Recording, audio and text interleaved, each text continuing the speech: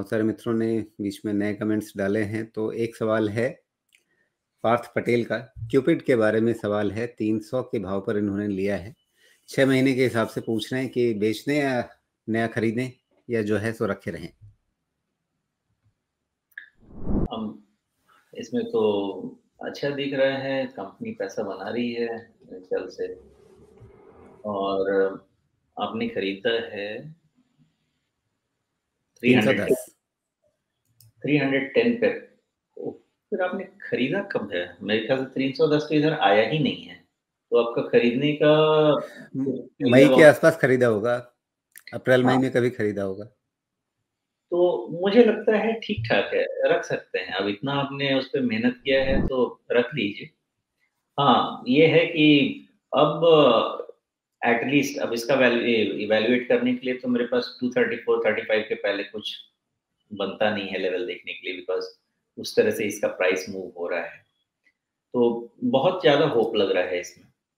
और आप देखिए, अगर 230 35 अगर आप पे आप पे डिपेंड करता है कि ट्रेलिंग कहाँ रखना चाहते हैं। ट्रेलिंग पहला स्टॉप लॉस 260 का बनता है और उसके बाद फिर सीधा का सीधा 240 का बनता है। 260 240 यही एंड हाँ 260 240 ऑन क्लोजिंग बेसिस दो स्टॉप लॉसेस हैं। अगर आप अपना ट्रेल करना चाहते हैं तो वो भी कर सकते हैं।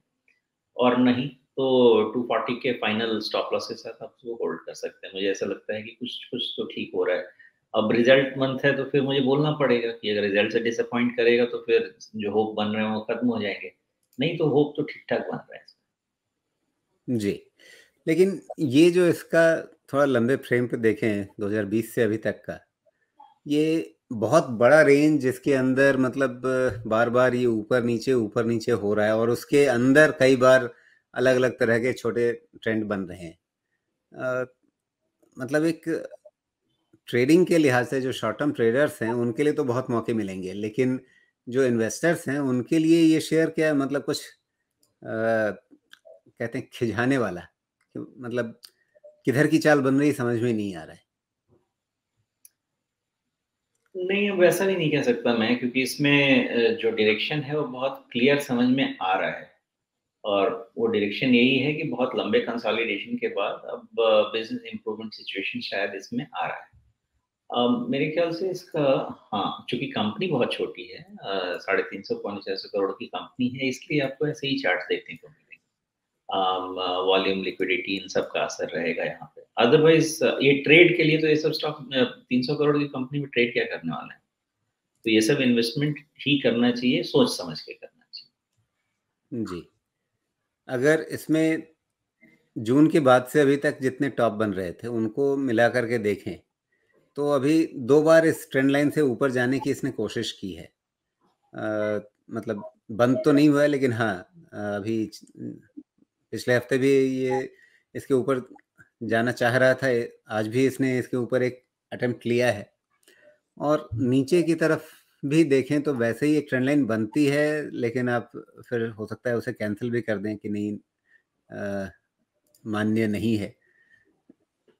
अगर जून से अभी तक के पैटर्न को देखें तो इसको देखकर क्या कहना चाहेंगे आप?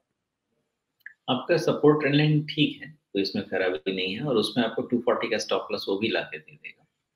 और हाँ दूसरी चीज़ आपका जो अपर ट्रेंड लाइन है ना इन सब स्टॉक्स में प्रॉब्लम क्या है? आप upper trend trend trend line के ऊपर क्लोज होने का वेट करेंगे तो टारगेट अचीव हो जाएगा।